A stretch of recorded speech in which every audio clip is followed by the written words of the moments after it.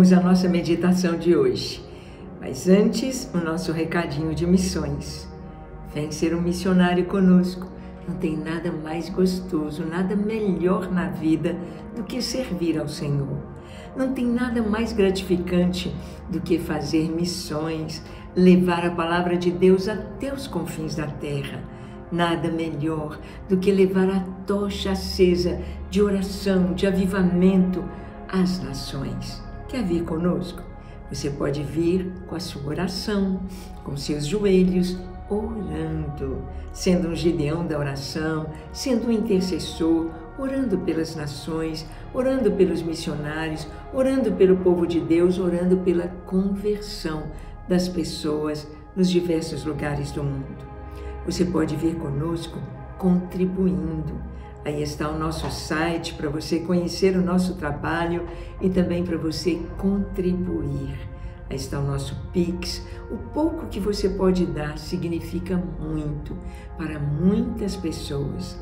Estamos levando ânimo, alento, ajudando a construir escolas, orfanatos e a minimizar a fome através do sisteminha de sobrevivência e você pode vir conosco também numa viagem missionária. Vamos anunciar no nosso site, em nossas redes sociais, quando será o nosso próximo curso de missões transculturais. Será em janeiro, última semana de janeiro de 2024, e você pode ser um missionário. Que tal? Bem, vamos então à nossa reflexão de hoje, cujo título é A Persuasão dos Lábios persuasão nos lábios, baseada em Provérbios 16, versículo 23. Diz assim: O coração do sábio é mestre de sua boca e aumenta a persuasão nos seus lábios. Você entendeu? Vamos ler de novo. O coração do sábio é mestre de sua boca e aumenta a persuasão nos seus lábios o coração do sábio.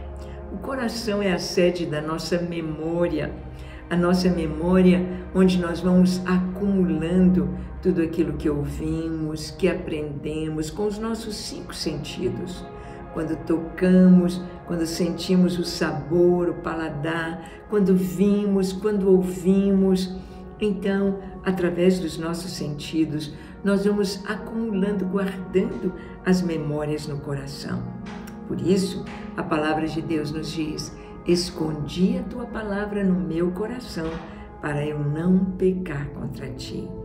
Ter na memória do nosso coração a palavra de Deus, para que a gente não peque, para que a gente evite o pecado.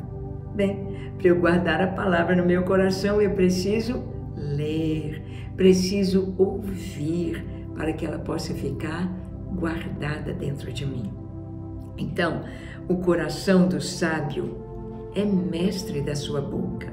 Jesus disse que a boca fala do que o coração está cheio, aquilo que eu coloco para arquivar dentro de mim, aquilo que eu dou valor, que eu gasto tempo para ouvir, para ver, para receber, que fica dentro de mim, vai sair pelos meus lábios, vai sair pela minha boca ou seja, eu vou falar daquilo que está dentro de mim, daquilo que eu penso. Eu vou pensar de acordo com a minha memória, de acordo com aquilo que está dentro de mim.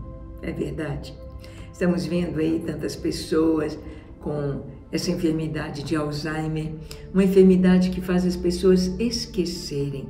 Lentamente elas começam a esquecer tudo, tudo esquecem é, o que fizeram há pouco, esquecem os nomes das pessoas, perdem, vão é, apagando a memória dentro do seu coração, apagando a memória.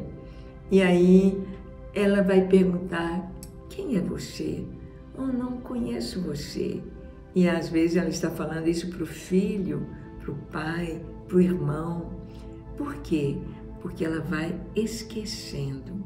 Aqui a palavra de Deus está dizendo que o coração do sábio é mestre da sua boca. Você vai falar o que está guardado. Mestre é o que ensina, é o que vai ensinar. Então, o que nós guardamos vai nos ensinar o que falar, como falar, quando falar. E diz que isso que está no coração vai aumentar a persuasão nos nossos lábios. Ou seja, quando você tem o Senhor, você anuncia as boas novas, você fala de Jesus, você fala desta fonte de vida eterna e você traz ou persuade as pessoas ao seu redor a buscarem conhecer Deus. Você o encontrou, quer que os outros o encontrem. Como está o seu coração? Cheio de boas coisas? Então você deve estar falando coisas boas também. Deus te abençoe.